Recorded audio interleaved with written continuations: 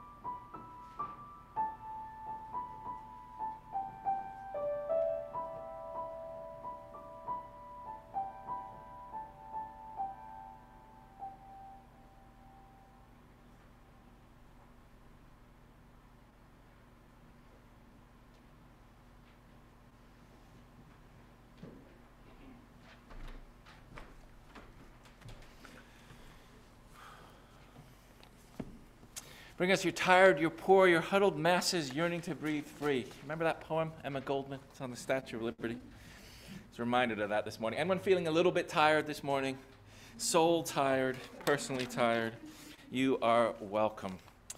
Is anyone uh, poor, going through financial insecurity, as so many of us do, or maybe struggling to find a little more joy, a little more hope, a little more oomph uh, in our lives? You are welcome here. As for huddled masses, we are socially distanced in this hall, but uh, we try to be as best we can. And those at home, you maybe uh, have as much room as you, as you like, but we are, are joined together and we say, Bring us uh, your, your uh, people from, from all walks of life. Bring us uh, gay, lesbian, bisexual, transgender, and straight from every race and culture, with going through every one of life's difficulties and challenges and triumphs. You are welcome here. We are delighted that you are here with us in this uh, community of meaning making and service. A big thank you to Kathy Atwell, who's filling in at the last minute. Uh, she's not Liz Thomas, as it says on your order of service. Liz is quarantining due to a, a COVID, positive COVID test at her daughter's daycare. So we thank uh, Liz for keeping us safe and wish the best to Liz and her family and the family who had the positive result. Good, uh, let's all be, be safe.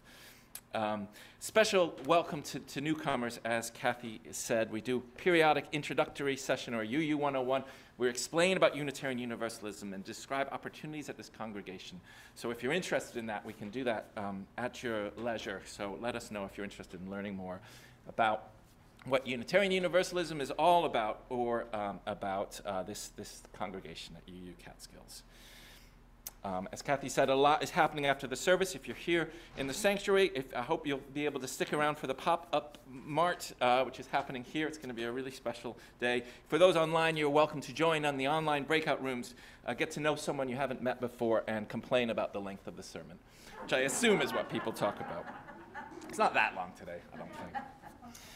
Um, and again, this is, this is a repeat announcement because it's a big one. The 9th and 10th, next Saturday and Sunday, are cleanup days here at the congregation. So anyone is welcome. Uh, we'd love for you to help. You know, if you're able to help out, that's great. I think will there be a pizza lunch, right? Am I am I promising something? We're going to have a pizza lunch. So if there's pizza, I mean, come on. Um, so hope you can make it there. That would be that would be much appreciated if you can come either Saturday or Sunday. Uh, we have a very special announcement from the organization Mentor Me, uh, which, uh, which, is uh, coordinated with the, the, Kingston Interfaith Council. And I got to uh, meet Stephanie through, through the Interfaith Council. So I'd like to uh, welcome Aaron Hilgart and Stephanie Kressner. And Aaron's going to say just a brief word about Mentor Me. Um hi. So I'd like to introduce Stephanie Kressner, who's sitting here. Maybe I can ask her if we need to stand for a second. Um, but I, after, at the end of last year, I was telling myself, do not volunteer for any more boards, no more volunteer work. You have your hands full. But then um, Reverend Bob put an announcement around. Oh, thank you for the support here. Reverend Bob put an announcement about some things you could get involved in, kind of within the congregation and in our community, and something about just the sentence that he wrote about mentor me, and that Stephanie Kressner had come and spoken to the Interfaith Council um, just I was like four hours a month. I can definitely help out. So you, you know the uh, so I it's basically like Big Brother Big Sister, which I am told before my time here that the congregation was involved in. Stephanie can fill you in at a later time about um, the history of that and how there hasn't been one in Ulster County, and she founded Mentor Me to fill that gap. And so I came expecting, you know, a, a well-run organization where they'll match you with a mentee and do background checks and all the stuff that I know Big Brother Big Sister does. But I will say, I find it to be kind of much more than that. Um, Stephanie's a great leader and has built an amazing kind of culture within the organization of mentors. And what, it's over 100 mentees? And we have over 140 mentees. Yeah, and 70 mentors. And 82 mentors right now about 85% of our mentees are undocumented children from Guatemala.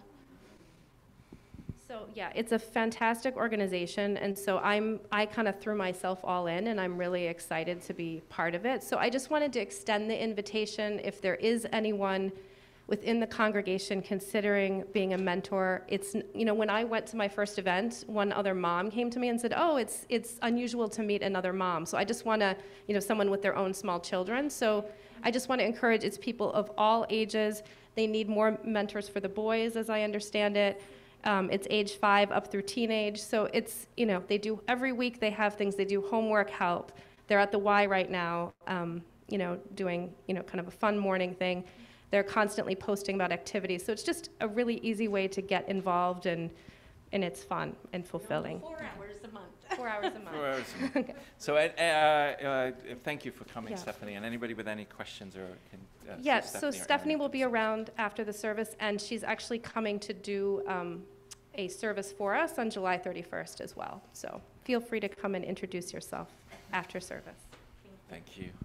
And we uh, begin our service by lighting our chalice as we begin our time of reflection and meaning making. And Amel, would you like to help us light our chalice this morning, or Lisa? You can all come up.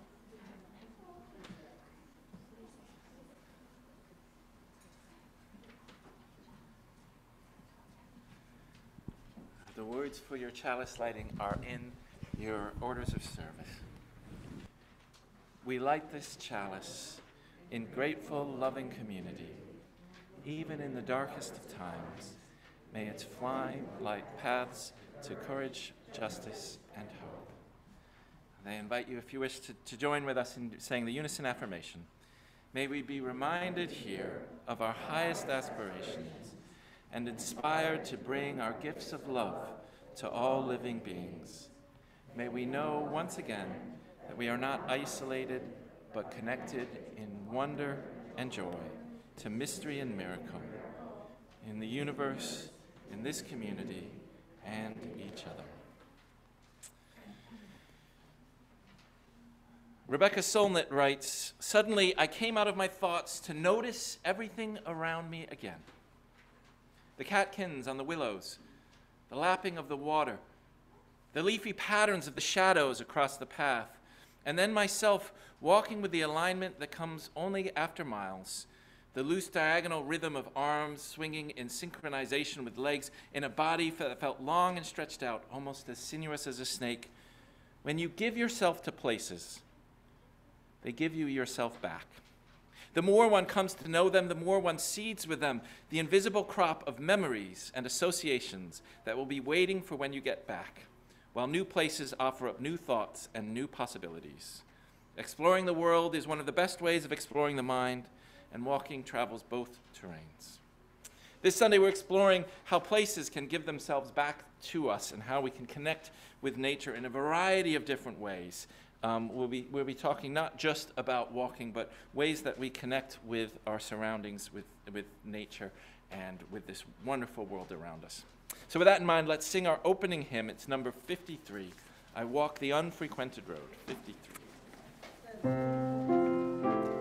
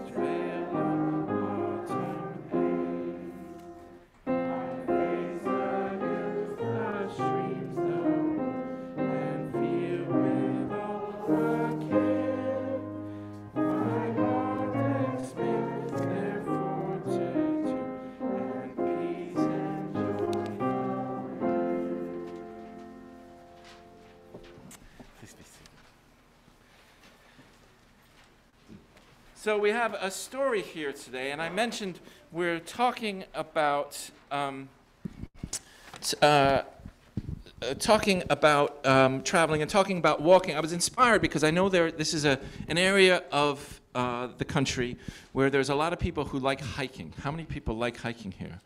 Oh wow! So there's there's lots of um, lots of people who like hiking. Is there anybody who's looking to who doesn't have a hiking group who's looking to join a hiking group?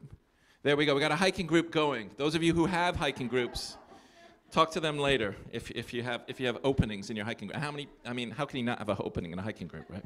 Um, but there's lots of other ways to travel as, as well, right? I mean, walking is, is, is a wonderful way if, if we're able to, to, to, to do so. But there are lots of other ways to travel. Does anyone know any other ways to travel? What's that? Bike? Yeah, biking's a good one. Reading. Imagination. Imagination is an excellent way to travel. We'll be traveling there in just a minute. Perfect. Any others? Reading. Skis, kayaks, so many different ways. Cars, although they use gas, wheelchairs, which are much more environmentally friendly. Um, there are so many ways of traveling, um, and when, when and it, it's it's and we also travel uh, through time as well. Like we we get older and we we, we experience new things, and it's kind of like a journey as well. So there's a little story about that, and I wonder what our story is about. And one of the things we do here is we have a wonder box because we are a people of wonder, and uh, we wonder about the world. Would anyone like to open the wonder box this morning? Do we have any? Coco, that's awesome. If you would. Ah. So it is, it is Tupperware, but Tupperware isn't the item, though. It could be. It could be. Does anyone know what's in there? Seeds is correct. Well, if you read the order of service, you've got a clue, don't you? But excellent. Thank you. So, this is a story about a seed. And it's a story um, that I kind of put together, though it's, it's a, it's, it features a, a, a, a tune by a colleague of mine, Mary Grigolia, a wonderful little tune. How many of you know I Know This Rose Will Open? Well, if you don't know it, you're going to know it in about two minutes. Um, so, um, I may need a little hand with this. Let's see if I can manage this. I should have gotten a guitar with a strap. Is anyone willing to be an assistant? Thanks, Mark. Um, so, uh, if you just kind of hold it like that's perfect. Yeah, yeah, kind of in between would be great. So the tune goes like this. It's quite, it's quite simple. It's in your hymnals, but I'm not going to tell you because then you'll be looking down the whole time. I know this rose will open. I know my fear will burn away. I know my soul will unfurl its wings. I know this rose will open. Great, you already know. Let's take it one more time. I know this rose will open. I know my fear will burn away. I know my soul will unfurl its wings. I know this rose will open. So there was a little seed that was deep underneath the ground. And all the other little seeds said, Well, you just need to wait. Because there wasn't much happening, and the seed was a bit bored. Have you ever been a bit bored and a bit restless? Hopefully, you're not feeling that now. But this little seed, and it was cold, but then it was suddenly getting a little bit warmer. And the seed thought that she could hear things. Let's go with our imagination here. Uh, and, uh, and the seed said, I, I want to travel the world. And they said, No, just wait. You know, things are going to happen. But the seed wanted to travel. So the seed uh, started to shift and poked her head just above the ground. And she saw there rocks and grasses. It was the first time she'd seen that. And it was the most amazing thing. And the seed knew she was about to go on an adventure. And it was almost like the world was knocking. And she had to open that door. She wanted to know more about the world. And as she thought about the world, she heard a song within herself that went, I know this rose will open. I know my fear will burn away. I know my soul will unfurl its wings. I know my soul will open. And so the little seed was on the ground and was quite happy to be on the ground. But then something extraordinary happened. An eagle. Have any of you ever seen an eagle? Got eagles around here, don't we? I think. It Because it, it was around here, actually, that this actually happened. So it was one of those eagles came and flew around and landed on the ground. And unbeknownst to the eagle entirely, the seed attached to the eagle. And all of a sudden, the seed was flying through the air. And it was quite terrifying. Can you imagine? It was quite a rush.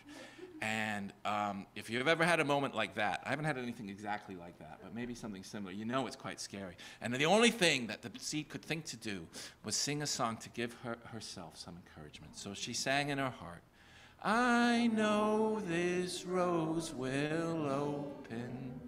I know my fear will burn away.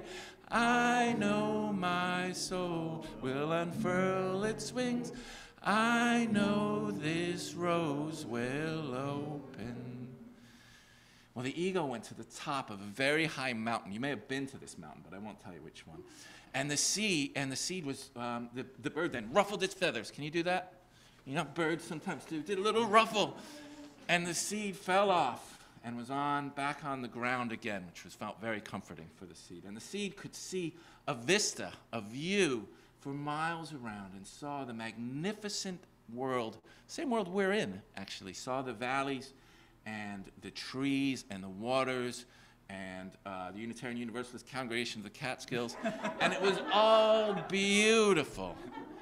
And, and the seed was very happy there and looked out of there because now it knew the world that it lived in. And funnily enough, it knew something else too. She knew a little bit about who she was. And she loved it up there. She loved the view, but she also felt a little bit lonely. And she was feeling much less afraid. So she leaned forward. And this time we might need, I don't know, we must have a couple of interpretive dancers in this, in this congregation. we haven't lined anybody up. But if you can imagine a seed in the breeze, if anybody wants to dance that out, that would be wonderful. And while this seed, yeah, there we go, uh, went in the breeze, this song flowed through, it's, it flowed through the air. I know this rose will open. I know my fears will burn away. I know my soul will unfurl its wings. I know this rose will open. The seed went this way and that way until it landed on the ground, not very far from where it had started. But oh, what a difference it makes. And it was in the same place it burrowed a little bit into the earth, and then it felt quite comfy and at home. And you know, something was beginning to happen and it was uh, something was happening. Do you know what might have been happening? Yeah, spring was happening, and and the, the and the seed, was rose seed, was going up into the world and and coming up in, into that world and feeling herself uh, grow and change and it was all wonderful. So while she changed, and feel free to dance this one too, as she grew, she sang, I know this rose will open. I know my fears will burn away. I know my soul will unfurl its wings. I know this rose will open. And she did. So every time you see a, a, rose or a flower, know that each one of them has an amazing story, just like each of you have. No, even if you don't move a muscle, you've been on an incredible journey this, this far, and we all have an amazing story, and we all are beautiful, just as we are, and just as we want to be. We are. So thank you for being a part of this wonder story. Thank you to all my dancers and my musicians. I'm, I have to say, I'm probably one of the top 100 guitarists in this congregation. I hope you get a chance to hear the other 99. Um, we are, and we're really delighted that the children can join us here today. Uh, so great to be together. We're going to sing, sing the children off to their classroom as they in, enjoy their, their time and we enjoy ours. Um, and so we'll sing them off to our classroom with. Love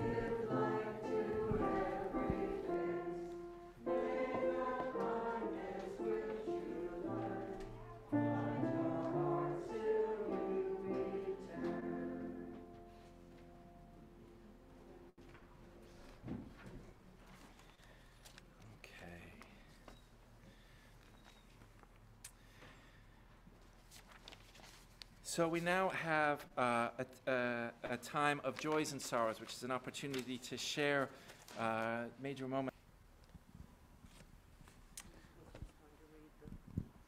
Oh, yes, thank you. Oh, I, I went ahead. Of, so we'll have the reading uh, uh, now, which uh, Vicky O'Doherty at the last minute. Thank you, Vicky, for stepping up. We'll be uh, reading. Uh, again, there are many ways. We are not all hikers or walkers, but this I think speaks about the connection to nature in such a lovely way. So this is uh, Thomas Clark in praise of walking.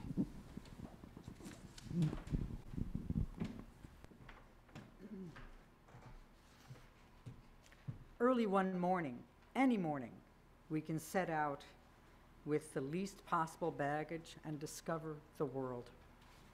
It is quite possible to refuse all the coercion, violence, property, triviality, to simply walk away.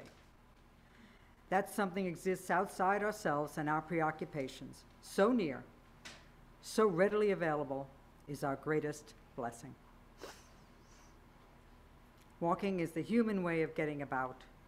Always, everywhere, people have walked, veining the earth with paths, visible and invisible, symmetrical and meandering. Walking is a noble, a mobile form of waiting. What I take with me, what I leave behind, are of less importance than what I discover along the way. To be completely lost is a good thing on a walk. The most distant places seem most accessible once one is on the road. Convictions, directions, opinions are of less importance than sensible shoes. In the course of a walk, we usually find out something about our companion, and this is true even when we walk alone. When I spend a day talking, I, I feel exhausted. When I spend it walking, I am pleasantly tired. Wrong turnings, doubling back, Pauses and digressions all contribute to the dislocation of a persistent self interest.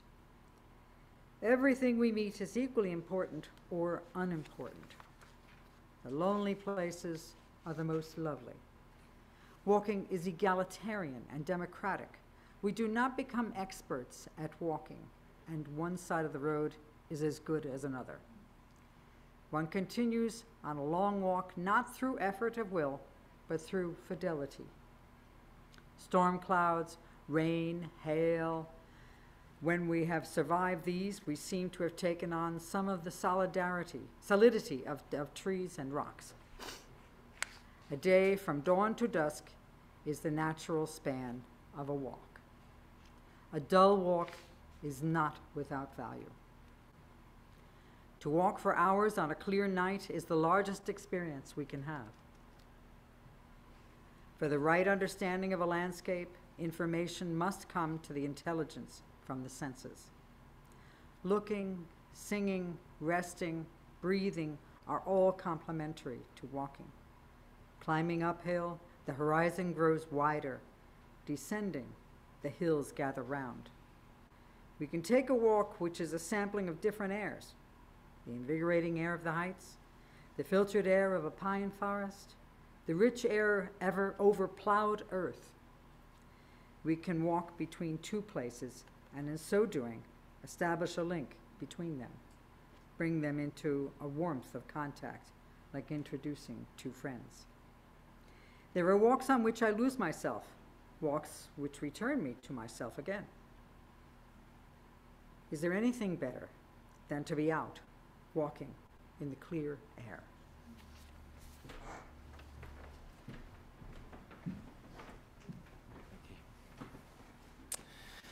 We'll now enter into a time of reflection, personal reflection, meditation, and prayer.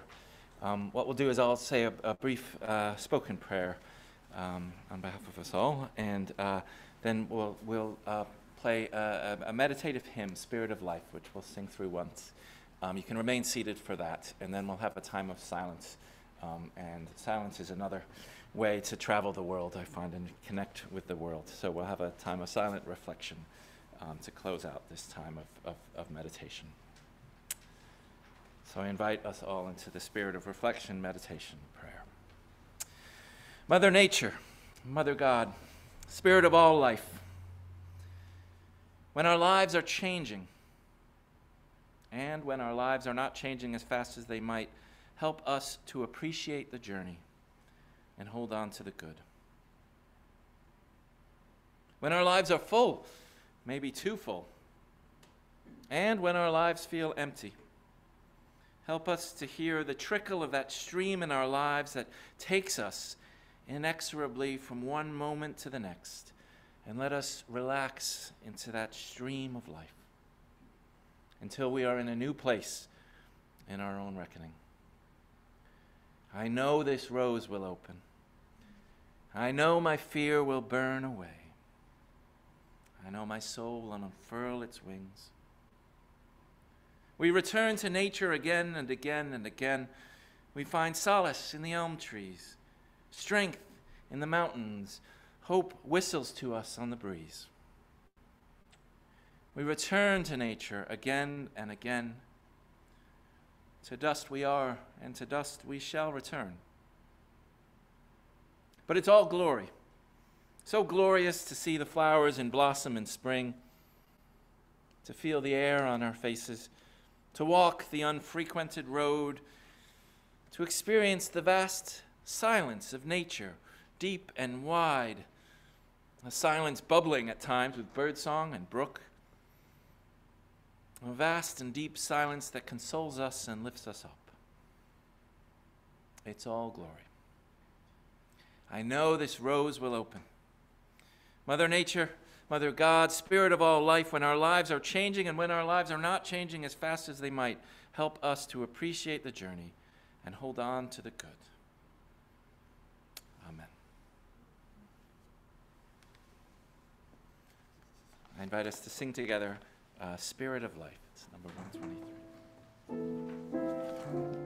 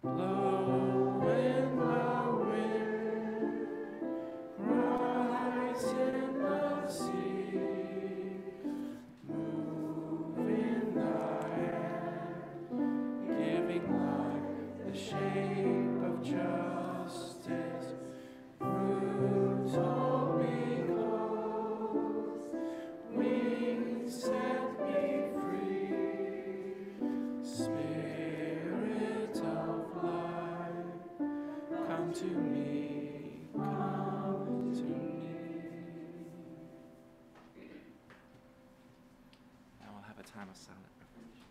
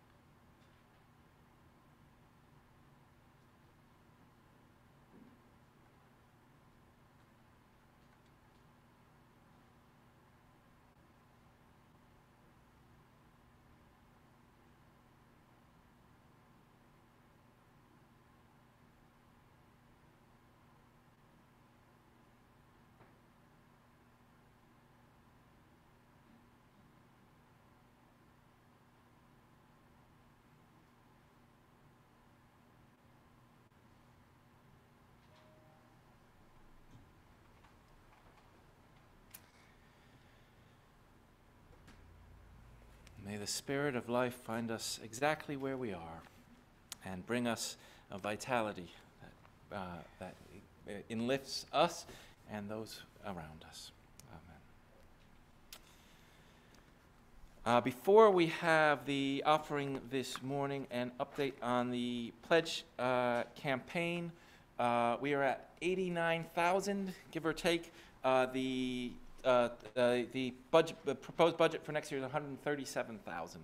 So if anybody has $48,000, we could sort it out right today.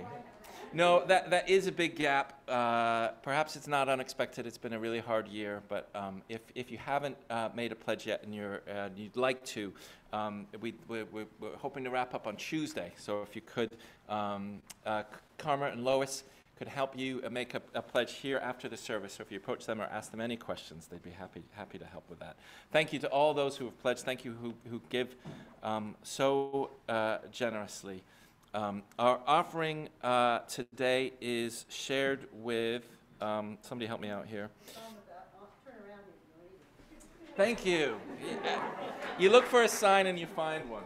Uh, it's shared with Hudson River Sloop Clearwater, um, a really remarkable uh, or, uh, uh, organization founded by Pete Seeger and known for its sailing vessel, the Clear, Clearwater, and for its annual music and environmental festival. So we're really uh, delighted to share the, the, the, our, the offering with this, this Sunday.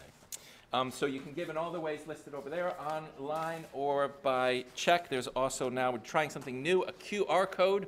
We're getting very advanced here on your order of service. So um, we've checked it out and it works. Hopefully it'll work for you if you like. So um, all, all donations are gratefully accepted, as well as uh, simply being here is, is, is very, we're very grateful for that. Um, our, our uh, offering uh, this uh, morning will uh, is um, on the Meadow by uh, H. Lichner, and we thank Bill Toole, our pianist.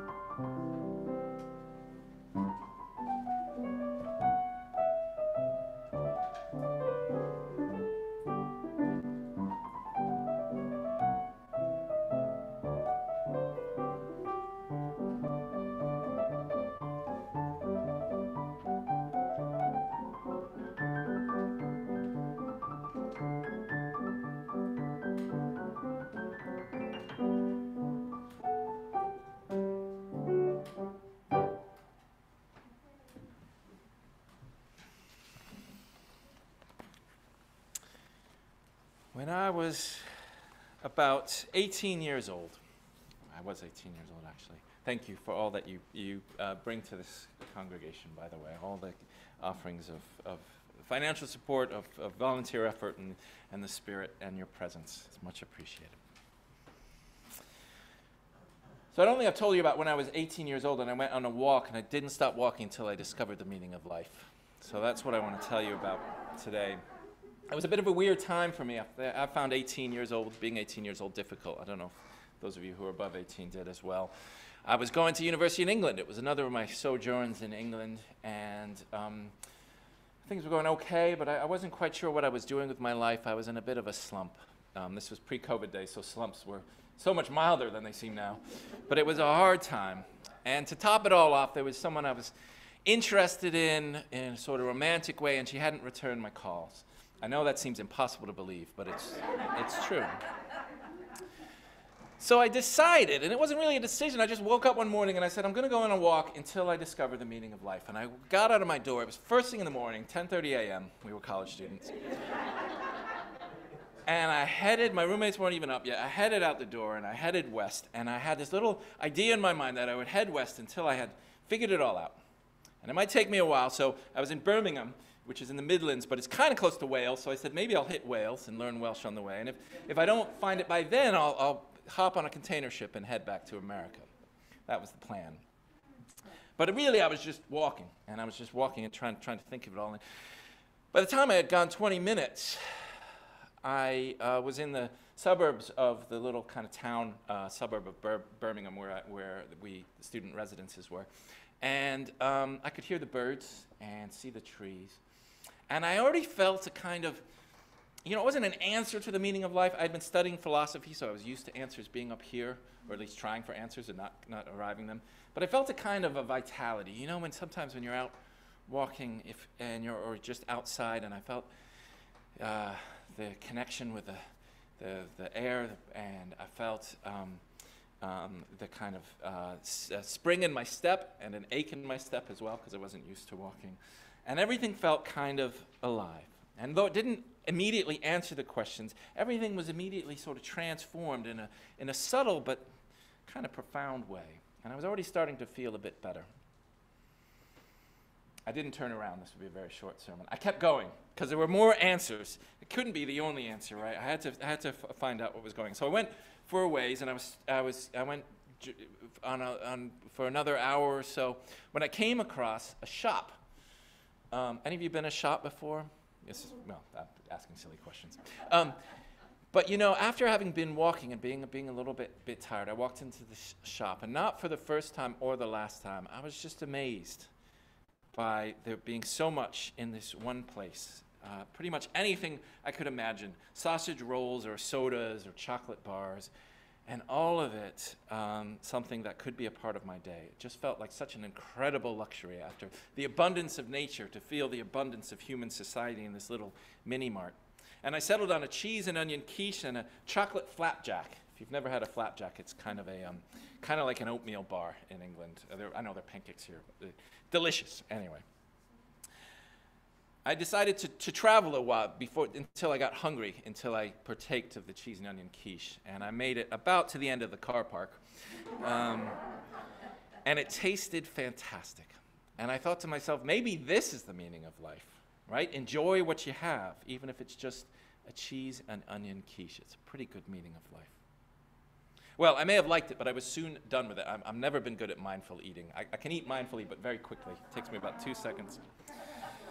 And I kept walking, and I was well out of the city now, trying to head west, but it was a little difficult because of all these little meandering paths in England, and it was beautiful, you know, uh, large stretches of nothing, of grass and, and fields, and going over stiles and falling over the mud and picking myself up and falling over the mud again. And, um, you know, one of my favorite stories is, is the Odyssey, um, and all these things happened to Odysseus, and here I was on a journey, and it didn't feel like much happening. It happens in a different time frame. But then again, it didn't take me 10 years. Um, so I went a bit further, and what I saw next was a field of uh, sheep. Beautiful creatures, sheep, right? And all the sheep, I could, I had the feeling that I was the most interesting thing that was happening to them in that moment. Which was quite humbling and awesome. I felt quite, you know, and I greeted them, said hello, sheep, and, and not only did they all turn to look at me and gather up to, to, to, to look at me, little me just walking along the way, as I walked by, I was kind of in an alley by with the sheep in their field over there. The sheep followed me all the way and were, were watching me. And they watched me until there, there was a fence and they couldn't go any further. And I just uh, felt like such a celebrity. Felt amazing. And I thought maybe this is the meaning of life that wherever you are, you are important to somebody. And I know it wasn't for any, any magnificent quality that I was important to the sheep. I was, I was something to, to, to take their attention. But even so, I knew I, I mattered to them, and it, me, it mattered to me that I mattered to them. And so I thought maybe this is what it's all about mattering to someone. Well, I was grateful for those sheep, but I had more, more uh, uh, ground to cover, um, sometimes literally as I kept falling over in the mud and my, my jacket. I got a nice warm jacket. That's another meaning of life. Bring a warm jacket. Um, and uh, lots of nothing happened. And then I saw uh, an event in the distance, and I, there were horses. It was some kind of equestrian event. Now, I'm no equestrian, so I didn't know what they were doing, but they were kind of, uh, it seemed like teenagers and parents, and they were all driving up in their cars and going, coming to some event. And I was all excited. I thought, here's something that's happening. And because I was walking, I saw it from a distance, and then nearer and nearer, and I was starting to get excited and excited. And then uh, uh, I was about a half mile away when a, a, couple that seemed to be connected, I think it was a mother and a daughter probably, were there. Their daughter in riding gear. And I was, hadn't had any human society for the whole day other than the, the, the clerk at the mini mart. So I said, hello, hel- hello, good to see you. And I got blanked. No, they walked right by me, just looked at me with this look of, I can't even tell you what it was, but it wasn't good. And then just kept walking. And I thought, all right, you know, some people, right? and, uh, you know, but I was a little hurt, and I was a little, you know, felt a little, I'd been waiting for this and a little disappointed. All I wanted was the, a little hello. But then as I walked a little further, I did think about it a little more. And uh, as I said, I was wearing a jacket covered in, covered in mud by this stage. And if you think my beard is bad now, in college, I really rocked the pr- prophetic look, and I had the hair was long and, uh, and I had an American accent, which you're not expecting in the suburbs of, of, of Birmingham. Um, and here I am, uh, out of nowhere, and I was in the middle of nowhere, um, um, uh, and seemed to walk out of the fields and greet them. So as I was walking, and with the, one of the great things about walking is you have lots of time to think about things, I thought, well, I could see how I might shock them a little from my perspective. And I thought maybe this is the meaning of life that in time we can understand one another. We, it is so easy to g- g- run afoul of each other, to hurt one another. Um, and maybe with time we can uh, understand a little bit of what it is to walk a mile in somebody else's shoes. Or maybe we can't understand, but we can understand how different we are. And so came and I understood a little bit more. And I walked on some more, and then something quite exciting happened. Um, you're out in the country now here in Los Alamos. How, how many of you have, have ever bumped into an electric fence? Um, a couple of hands. You all are much more responsible than me. I'll tell you. Well, I wouldn't recommend it. Um, I, I, so I know children sometimes do it on a dare, and if it's low voltage, don't ever do it. But um, you know, it, it, it's okay. But when it's a surprise and it happens, um, and I was going, trying to get through. The light was getting darker. It was a late afternoon now, and uh, I was, I just bumped into this fence. I was, I didn't know it was there. It was, it was uh, kind of between these hedges, and um, I was okay, but it was kind of, um, how do you describe it? Um, a shock, right? And you have this terrible moment. I mean, it, life's a lot like that, right? You're just walking along and everything's fine, and then something changes all of a sudden. Well, this was a literal shock in my life. And the worst thing was I had to keep going, and it was getting dark, and I kind of, I, I could go back, but I had to go like two miles to go back the same. So I thought there was a little way path out this way, and then there was kind of two hedges. There's lots of hedges in England, and a path in between and I kind of peered forward to try to see if there was an electric fence, but then I thought, this is really daft. I'm going to electrocute my own nose, which is a bad place to. So I, I couldn't see, I didn't think there was anything there, but you know, it's really hard when life has already brought you a trauma to believe. So I took a few steps back, and I thought, you know what, I don't, I'm just going to have to, um, and I just sprinted through.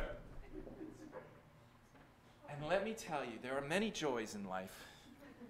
But the joy of not being electrocuted is just a magnificent one. I mean, it happens to us all the time, but we, we, of, we often take it for granted. And in that moment, I was, I was, uh, I was very happy. Um, and I, am glad to say I wasn't electrocuted for the rest of the, um, the, the, the, the, the, the, the walk. Um, I was a little worried when I um, had to attend to the call of nature when you've already worried about. But anyway, there were lots of other wonders on that walk. Mine, little tiny wonders, a manor that I didn't know who it was and looked like something out of Clue or Strawberry Patch and all that kind of stuff. But really, there was the walking. I don't want to get too into what I saw. You can go on a walk and talk about what you saw, and that's great. But there's something about just the journey itself, whether you're walking or whether it's the journey of life. and the being out there that just feels really embodied. And I think that has stuck with me through my life. I've always loved walking and, and hiking. And I, I've mentioned to some of you after my uh, separation a couple years ago, I did a lot of walking. I walked, tried to walk from west to east across England, um, and I got about halfway in little segments, a little bit at a time. And a lot of the walks had nothing to, nothing much happened, um, but it was great. It was just something about being out in the midst of nature. And I know I talked about a silence, and I know nature isn't silent, but it was like I wasn't really looking for answers, but I was looking for to, to know that the world was a place I could live in. And sometimes when you hear that silence from, from the world and you're out in nature, and maybe some of you will identify with this, you just know you have a place in the world. And you know that the world is a marvelous place, and you're reminded of that. And so I'm always grateful to this vast silence of nature that answers us back in our worries and kind of has a way in the silence of saying, you know, it's okay. It's all right. It will be all right. But I have to tell you how I get home, right? That's kind of kind of im- important, or whether I went to Wales or, or America. I did not. I was looking. I was I was ready to go home, and I was feeling tired, and it had been a long day, and it was it was nighttime now, and I was looking for a sign. Oh, the sign's gone. But anyway, and I got a sign. It was about 30 feet by 50 feet, and it was up. I was down, and I could see up on the hill, and it was a sign, and it said Birmingham, 35 miles which seemed like a long way, but I, I don't know. I mean, I had seen a, you'd seen a sign. You got to. So I walked up here, and I was walking along on the side of the road. It was the M42, which is a highway. Now, I know I said don't get electrocuted by electric fence. Don't walk on the highway. It's a really, really bad idea. Very, very unsafe. Um, but I did. Um, and I walked and I thought, well, it's 35, you know, not, what else to do? I wouldn't know the way home, right? I didn't have a, this was before cell phones became a thing. And uh, I, I wandered on the way and I made it about half a mile before someone came to pick me up. And the lights turned on on the top of the police cruiser and he pulled over.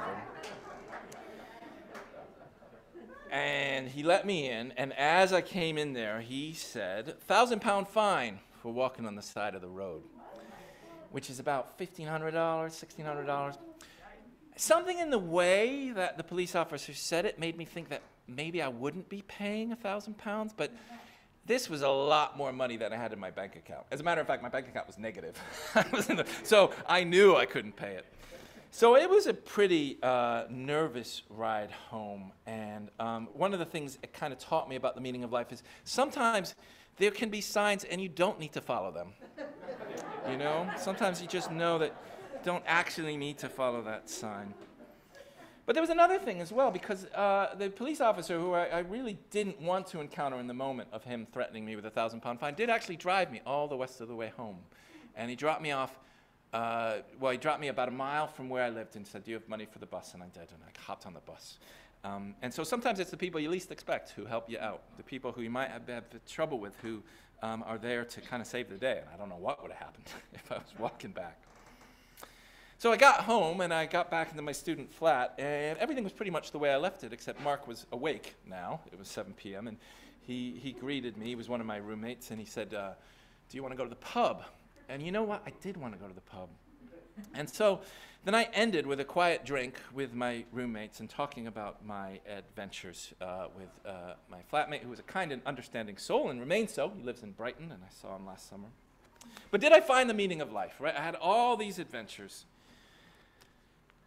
I had found many several meanings of life, I suppose, and discovered what I already knew, which is life is what you make it. As John Lennon said, life is what happens when you are making other plans, but also life is in the way that we deal with what happens. I hadn't had a bad day of it, all things considered. You know, day that nothing really happened. I went for a walk, that's all. But I had a friend waiting at the end of it in a quiet night beyond all the adventures.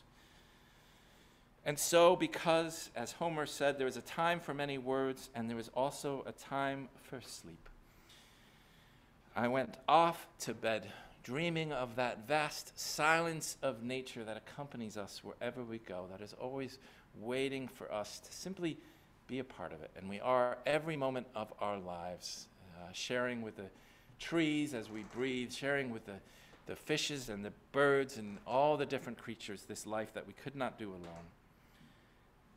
I went dreaming that dream of connection to all nature and ready to discover the meaning of life anew in the morning. So may we all discover the meaning of life each day as we travel the paths and as the paths travel us. Amen. So let us sing the closing hymn. Again, uh, one more step uh, uh, is, is one way. We, we're not all, we, we all travel in different ways. So I hope we can take this uh, metaphorically and symbolically about traveling on this journey. So we will sing our uh, closing hymn. It is one more step, right? Or do I have to? 168. Thank you. One, one more step.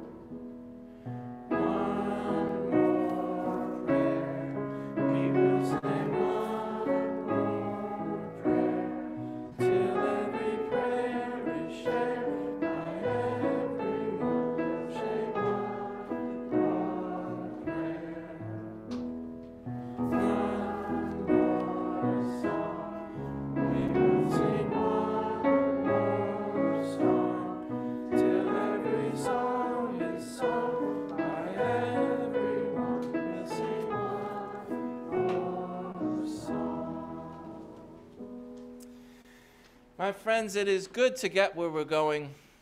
It is even better, perhaps, to be on the way. So, wherever you are this morning, wherever you're traveling to, let us enjoy the journey together. Be kind to our traveling companions because we're all carrying difficult burdens. Love one another and enjoy this journey because what an amazing world we get to live in. And we are part of the story with every step, with every word, with every prayer. So let's give it our all. Amen.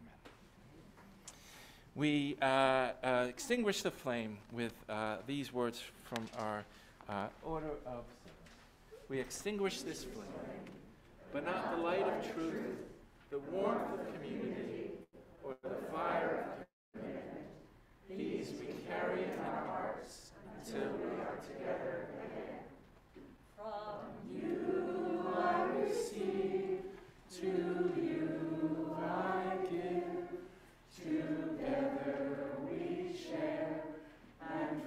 this we live from you.